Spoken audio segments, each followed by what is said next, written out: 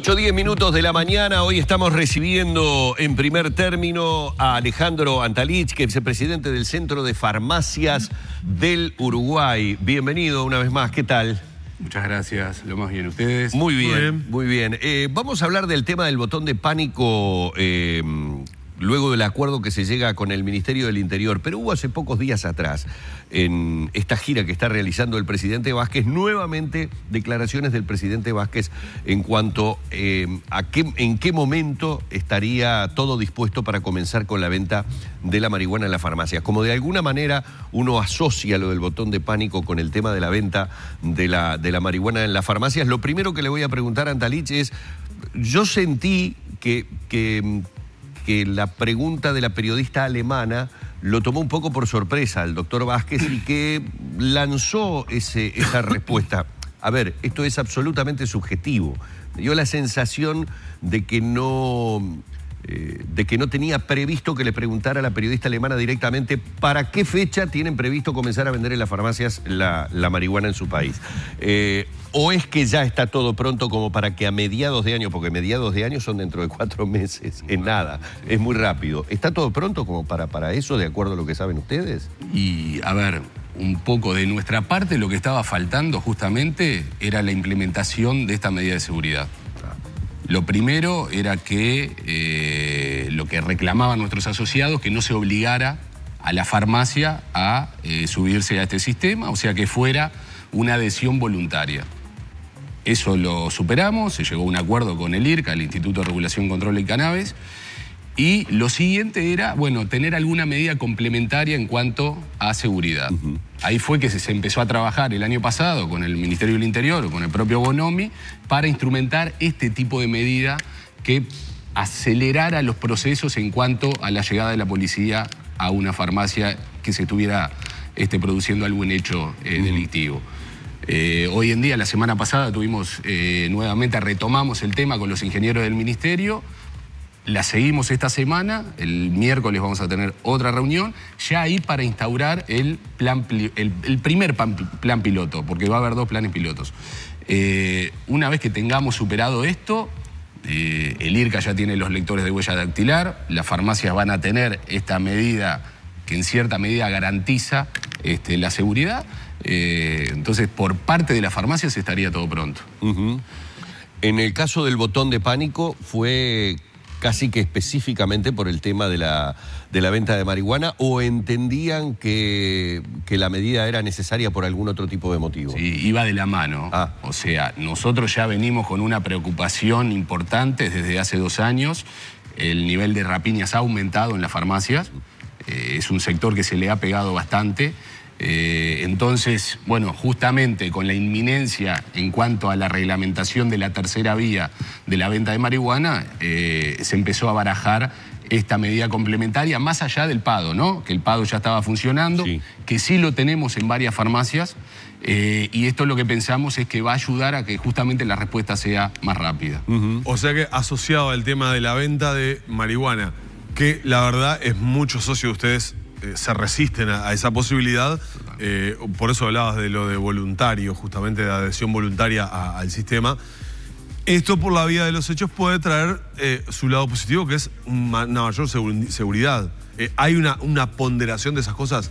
Tal vez alguien no quiera vender marihuana en su farmacia, pero dice, bueno, si esto me va a traer un botón de pánico que me dé seguridad, este, eventualmente puede ser hasta positivo. Y exactamente. Esa, ver, esa es la, ese es el balance que hacen. Lo, lo importante de esto es que más allá de las farmacias que adhirieron al sistema o las que puedan adherir al sistema, este es un beneficio para el colectivo de todas las farmacias. Claro, pero ¿lo va a llevar solamente la farmacia que venda o todas? Todas. Ajá. Está abierto para todas. Bien. Por eso digo, si bien es una medida que se empezó a manejar gracias a, a este nuevo producto que va a estar en farmacias, hoy en día lo logramos desde nuestra gremial para todo el colectivo de la ¿Eso lo farmacia. negociaron de alguna manera? No, no, no. Sencillamente cuando se fue a, a presentar la medida al Ministerio del Interior, el Ministerio del Interior, digo, sabe bien, digo, las cifras y cómo se le está pegando a la farmacia. Digo, a ver, a ustedes les puede pasar Sí, de ir a una farmacia, claro. estamos o atendiendo a través de un portero eléctrico o con una ventanita con rejas. O sea, es un negocio que eh, está bastante atacado por, por la delincuencia. Entonces, a ver, más allá de la venta de un producto este, como puede ser el, el cannabis psicoactivo de uso no médico, era una medida que ya se estaba manejando y bueno, esto lo que hizo fue acelerar. ¿Cuántos comercios estamos hablando concretamente? Que van a En- tener este botón de en el pánico. plan que van piloto, a tener la posibilidad claro, de este botón. A ver, yo creo que en el plan piloto vamos a arrancar con 10, 15 farmacias que, que ya están. eh, pero esto yo ¿Ya están instalados? No, no, no, no. Ah, ya que están van a arrancar ahora en el piloto. Exactamente, están seleccionadas.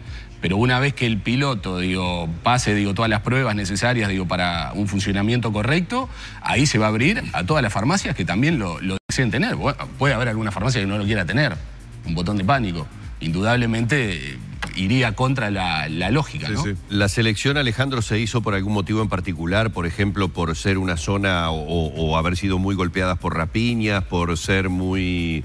Eh, ser una zona complicada, es decir, la selección de esas 10 o 15 primeras eh, farmacias o eh, ha sido aleatorio? No, no, es aleatorio, digo, simplemente por un tema de tener una respuesta rápida para el ministerio, porque aparte el botón de pánico va acompañado de una geolocalización, o sea, para tener datos concretos, Claro. hoy en día los móviles este, del ministerio ya este, utilizan GPS, entonces es una medida complementaria, digo, que se está pasando a través de ese botón de pánico este, datos de geolocalización de la farmacia. Y le- le- la lógica de funcionamiento del botón de pánico es que frente a un hecho delictivo o la presunción, porque a veces no, no precisa que te apunten con un arma para saber que te vienen a robar, eh, eh, se, se acciona un botón que dispara que un llamado al 911, a- al centro de monitoreo concretamente. Exactamente, al Centro Comando Unificado del 911. Ah, entonces, o sea, va a ser instantáneo. A ver, lo que buscamos con esto es un poco también la prevención. Claro. O sea, a nosotros nos pasa muchas veces que entra una persona y bueno, y uno... A ver, eh, cuando para en la moto en la- afuera, en la vereda, ya sabes, ya sabes. que tenés un problema. Accionalo. Sabes que en uno o dos minutos vas a tener un móvil ahí. Digo, eso es lo que buscamos, prevención. Digo, disuadir un poco a la delincuencia en cuanto a que tome como foco a la farmacia.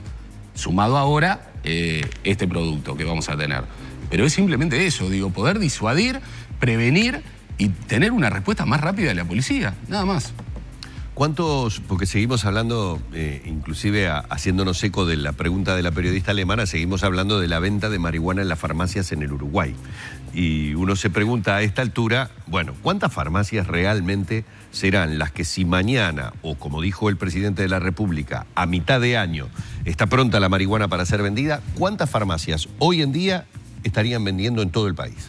Eh, a ver, eh, nosotros nucleamos a las farmacias de Montevideo. En Montevideo tenemos de, de un comienzo que había arrancado con unas 30 farmacias. Ah, pues eso tema- se diluyó, ¿no? se Por- diluyó por en el tiempo, exactamente, por el tiempo, eh, como que la gente fue quitando ese interés y hoy en día quedaron unas 10 farmacias. Eh, calculamos nosotros que en la medida que esto comience, digo, alguna farmacia más, quizás de esas 20 que quedaron en el camino, retomen ese interés, más ahora que vamos a tener esta medida de seguridad, y bueno, y posiblemente este, Pero yo- alguna farmacia más. No sé, no, no, yo estoy loco o, o- o está mal decir que es un fracaso. O sea, decir en Montevideo 10 farmacias es decir que es un fracaso. A ver, si, el, si la política es para quitarle el potencial cliente al narcotráfico, con 10 farmacias no le van a quitar, creo que ni el 0,01% de clientela al narcotráfico, o sí. No. O van a tener un stock tan impresionante que van a atender a todos los clientes que puede tener eh, eh, eh, la marihuana. Digo, es decir, me parece excesivamente exiguo el número de 10 farmacias. Eh, No es negocio por lo que veo tampoco, o sea, no es algo que le, genere un margen eh, de rentabilidad a la farmacia como para que diga, no, sí, me voy a poner a vender esto que se va a vender como pan caliente. No. Eh, Estamos de acuerdo. A ver, primero que nada, el stock es mínimo, como bien decís tú, son dos kilos, o sea que eh, tenemos mucha mercadería eh, con valores superiores a, a- a este producto. Y cuando se, termine, cuando se termine ese stock en una farmacia, vamos, a poner un caso hipotético, que en tres días se le terminaron los dos kilos porque salió corriendo la gente a comprarla. Sí. Eh, ¿Pide más o no puede tener más hasta...? No, la entrega va a ser quincenal. O sea, Quincenal. haber- exactamente. Cada 15 días este, se va a dar la, la distribución a farmacias. Eh, indudablemente que sí, es un número pequeño en cuanto a farmacias. Ahora, tenemos un tema mayor que es eh, el registro. Lo que se está esperando O sea, lo último que supimos es que en esta semana se va a estar abriendo el registro. Claro. Y ¿En esta sería- semana? En estas Ah, semanas. Sí, pero no sé si son dos o tres semanas. Pero lo que vengo escuchando que en esta semana se abre el Sí, sí, registro, sí. desde el año pasado vengo escuchando eso. Exactamente. Digo, Pero yo creo que eso es clave para saber realmente ¿Cuántos son los si las usuarios? farmacias digo, son suficientes o no para cubrir la demanda de los usuarios registrados. Ahora, yo por otro lado, está bien que se maneje el tema, lo que decís recién, digo, de combatir al narcotráfico. Yo eso, es- siempre lo he querido separar. Digo, yo no lo veo con esa este, perspectiva.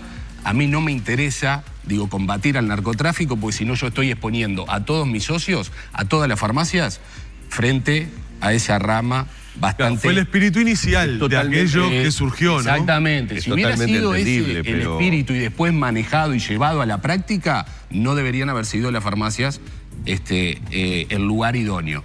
Ahora, yo pienso en el consumidor, usuario, que hoy en día y que toda la vida eh, tuvo la libertad de consumir, pero lo que se le prohibía era el acceso al producto.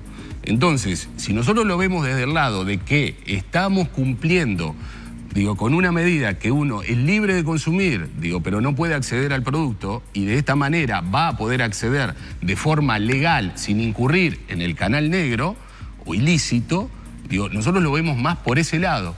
Eh, ¿Por qué se planteó la farmacia? Y acá viene el gran tema. Porque uno puede decir, ¿por qué está metida la farmacia en esto? Pues la farmacia en esto, digo, no está metido porque quiere. Primero que nada, porque se planteó, el gobierno lo aceptó y hoy en día estamos en condiciones ya de salir a, a la venta. Pero el tema principal es que la farmacia lo que está reclamando desde hace muchos años es el recupero del 100% del medicamento ambulatorio. Ah, estás eh, a punto, estaba a punto de ingresar en ese capítulo. Porque hablamos mucho del tema de marihuana, pero eh, hay un tema de medicamentos pululando por todos lados que te quería preguntar Exacto. cómo están viendo esa situación ustedes. Claro, exactamente. Porque hoy acceder a un medicamento, eh, sí, lo compras en la farmacia, pero tenés miles de vías para comprarlo también fuera del- de los canales normales, ¿no? Por supuesto, a ver, nosotros estamos combatiendo primero con un canal ilícito también, pero de medicamentos. ¿tá? Que se pueden acceder, como vos bien decís, en Sí. cualquier lado. Todo el mundo sabe dónde se consigue en, la- en las ferias de, de- de La. Unión, en Piedras Blancas, o sea, en cualquier feria sabes dónde conseguís medicamentos. Exactamente. Ah, o por, sea que. por- por plantear un solo escenario. Sí, ese uno. Por eso te digo, un solo escenario. Después, en, hasta- en establecimientos que no están autorizados por ley para dispensar medicamentos, pues no te olvides que nosotros tenemos una ley que nos regula. eh, Almacenes, por ejemplo. exacto. Ah, por, por nombrar uno. Pero de barrio. Puedo, seguir tienen, nombrándote. que ya tienen hasta dispensadores especiales para todo tipo de... Pero y entras y a veces ves más mercadería que en una farmacia. Digo, tenés todas las blisteras, digo, por decir algo, de Sí, analgésicos. Sí, sí. Este, pero igualmente, eso es una parte, ojo, importante, digo, que le pega a la farmacia comunitaria, a la farmacia de barrio, a la que está, ha, ha estado más de 200 años. O sea, tiene la misma este, antigüedad, digo, que el país. Porque siempre la farmacia de barrio estuvo acompañando, digo, lo que fue el crecimiento y el desarrollo del país. Pero por otro lado, lo que se ha perdido, y es ahí donde más le pega a la farmacia, es el medicamento ambulatorio. Lo que tú hoy en día vas a tu sociedad médica y, como quien dice, ya ni te dan la receta, porque no, no se olviden que el año pasado se instauró la, la receta electrónica, que lo vemos brillante, con los mejores buenos ojos y como debe ser, como pasa en todas partes del mundo.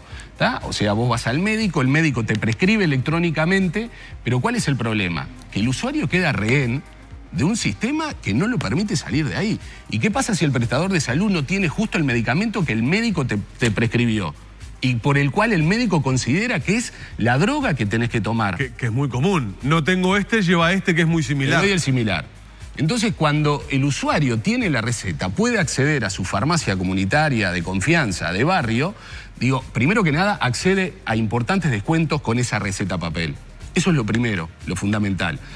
Pero lo que sería más lógico, apuntando a esa receta electrónica que la vemos muy bien, es que cuando un médico prescribe, e insisto, como pasa en todas partes del mundo, prescribe y esa receta, ese documento que es del usuario, va a un repositorio central en la nube.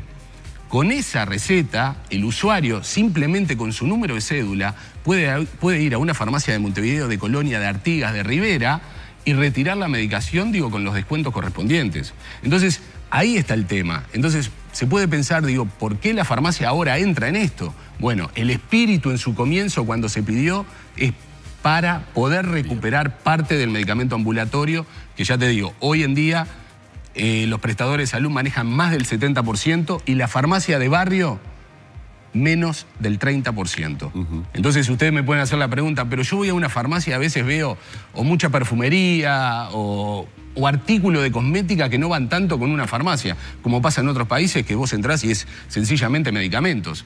Y bueno, pero ahí está el tema recuperemos todo el medicamento y te puedo asegurar que en la farmacia no vas a encontrar un producto más de perfumería cosmética. Vamos a despedir a Alejandro Andalís, que es vicepresidente del Centro de Farmacias del Uruguay, hablando a propósito de este botón de pánico que se estaría comenzando a implementar este plan piloto en estas 10, 15 farmacias a partir de... Y esta semana. Esta semana. Esta semana. Ya comienza A, funcionar. Calculamos que en 15 días, digo, ya, ya va a estar pronto. Bueno, muy bien. Muchísimas gracias por esta nueva visita aquí en la mañana de Arriba Gente. ¿eh? Muchas gracias a ustedes. Cerramos por aquí este encuentro que hemos mantenido junto a Alejandro Andalís.